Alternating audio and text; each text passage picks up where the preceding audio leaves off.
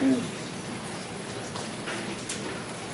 this is a good time to tell you. Tomorrow, all the students are supposed to bring their robe, their robe bag, their vest, their, their tie, and their scarf back to school so we can check them in again for the dry cleaners.